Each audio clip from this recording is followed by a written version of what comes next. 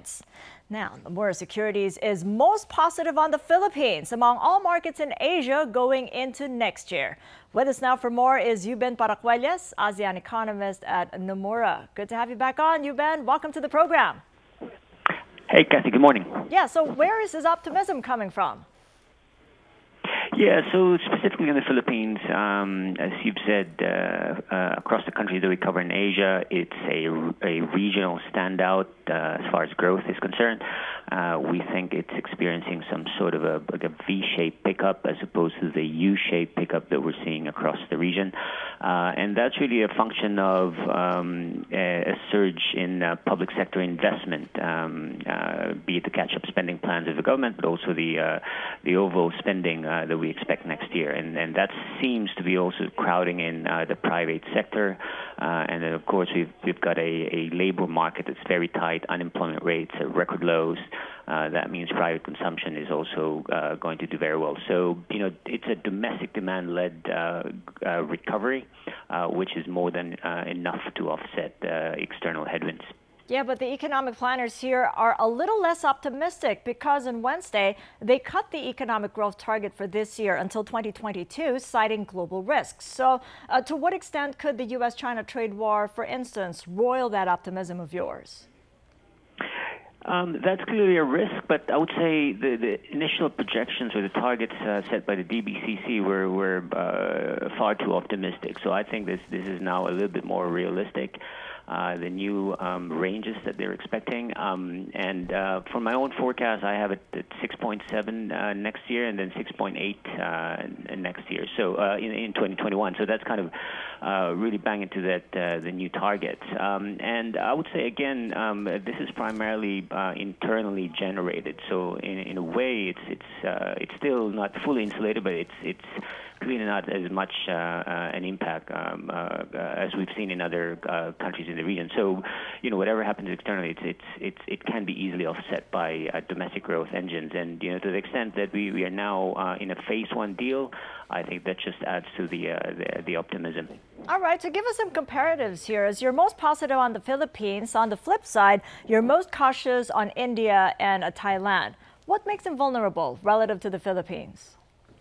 Yeah, so um, India has some um, uh, balance sheet problems uh, across uh, the banking sector and, and and the rest of the financial services sector. That's that's uh, that's really uh, clearly uh, having an impact already on growth. Um, Thailand. Uh, there's really a sort of uh, strong structural uh, negative factors. So in particular, aging. So it's a demographics is deteriorating.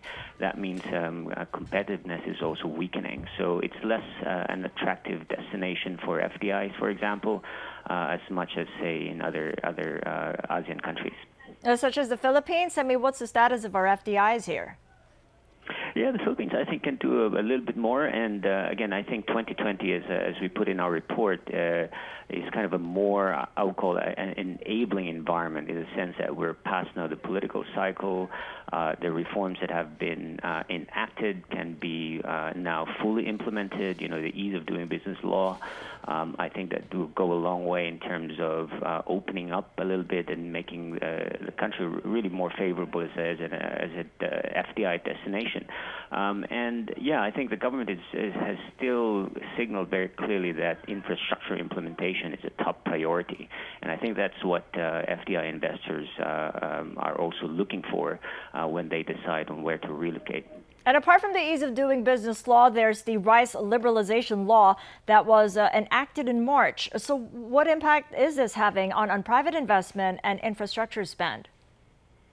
Yeah, well, I think that that'll be more impactful uh, on the inflation outlook. Uh, as you know, um, food uh, component uh, in the CPI basket is is uh, uh, is relatively significant in the Philippines compared to other countries in the region. So, to the extent that we get a more stable on target inflation profile, I think that also helps uh, uh, overall sentiment, uh, and therefore the longer term growth outlook also gets positively affected. But what is to come of the remaining structural reforms that are pending in Congress with that window closing in, in the run up to the next presidential elections in 2022? Yeah, I think what's important to watch is really the next phase of uh, the fiscal reform packages. Uh, package two and package two plus.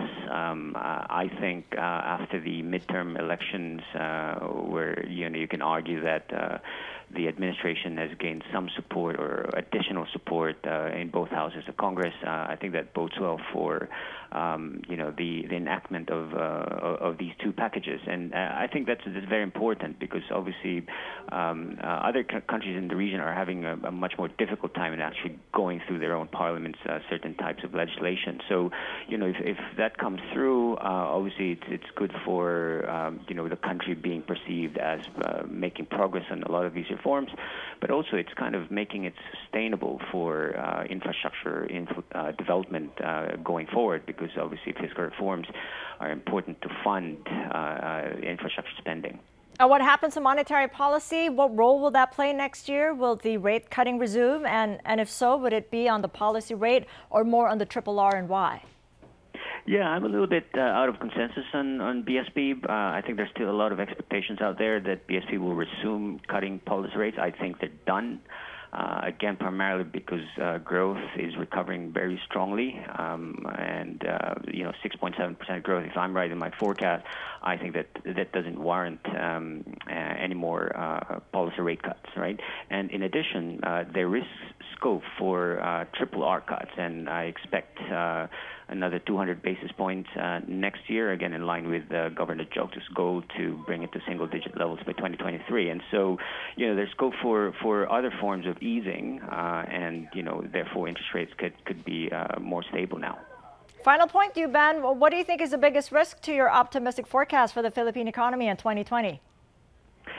It boils down to, I think, execution. Um, and, um, you know, as, as we saw this year, we had a little bit of a setback in the sense that, you know, the budget delay really affected uh, the, the, spending on, on, on new projects. Uh, so to the extent that the government and, and you know, the, the, the political environment um, uh, avoids uh, these kinds of setbacks, I think we're, we're in for a, a pretty uh, strong pickup. Um, otherwise, it'd be, uh, it'd be a little bit more disappointing. All right, helps to hold that optimism into the new year. Euben Paracuelles of Nomura, thank you so much for joining us.